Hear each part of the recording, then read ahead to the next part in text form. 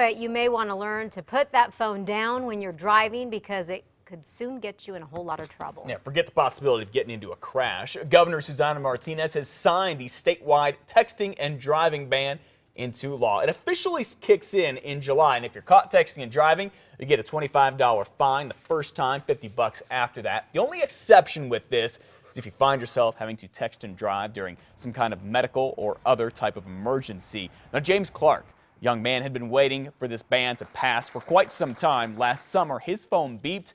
He was driving, and then he did what a lot of us do. He takes his eyes off the road. In the amount of time that it took me to reach over there and, and look at it, I was in the shoulder, uh, overcorrected, and I, I flipped a, a couple of times actually. Mexico joins 41 other states across the country with similar bans on texting and driving. Another bill signed into law should relieve those who are deployed in the military from having to worry about fighting child custody battles, too. Governor Susana Martinez signed the Service Member Child Custody Act into a law with this special ceremony at Kirtland Air Force Base yesterday. Years in the making now, the law says child custody arrangements cannot be permanently modified when one parent is deployed.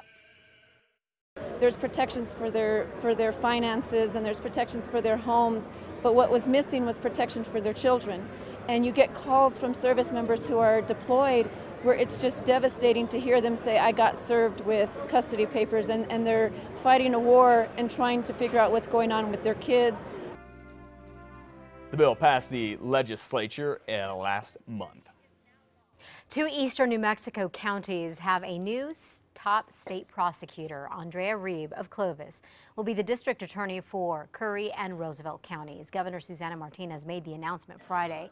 Reeb has more than 17 years of prosecuting experience. She's taking over for former district attorney Matthew Chandler. His last day was Saturday. He is opening a private practice. Chandler says he will still be the lead attorney, though, on the Roswell school shooting case. Voters in several cities and towns here in New Mexico will soon go to the polls to cast their ballots, in many cases to elect their next mayor. In Santa Fe, voters will pick their mayor in a hotly contested race tomorrow. Former Democratic Party Chair Javier Gonzales is facing off against City Councilor Patti Bushee and City Councilor Bill Dimas. Voters will also decide on a number of charter amendments there, including one to make the mayor of Santa Fe a full-time job with a full-time salary.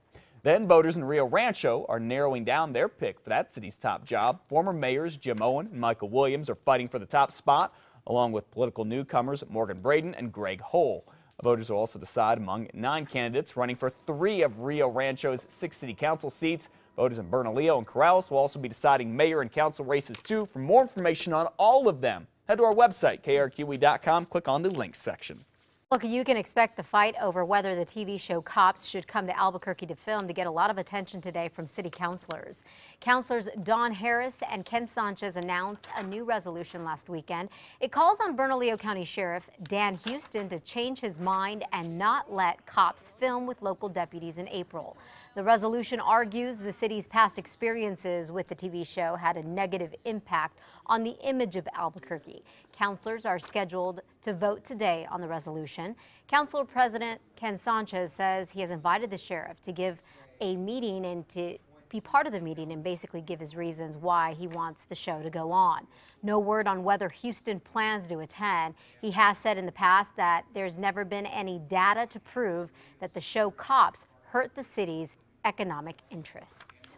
Well, Albuquerque police want to warn you about a man who is approaching children with a video camera and a squirt gun. Yeah, police have put out a public service announcement about this, saying they're concerned about what this guy is up to. APD says it's investigating reports of a man in the northeast part of town along Eubank, particularly going up to kids about 6 to 16 years old, asking to videotape them while he shoots them with a squirt gun.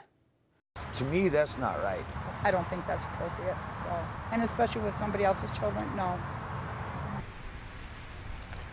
Sounds a little sketch. Investigators have talked with a number of people who say this happened to them, and officers, quote, have concerns regarding the man's motives in approaching and requesting to film these children. Investigators say the man is in his 20s or 30s with brown hair. He's often seen wearing a baseball cap. Police did not want to talk on camera about this, but are asking anyone with any information to call 242 cops.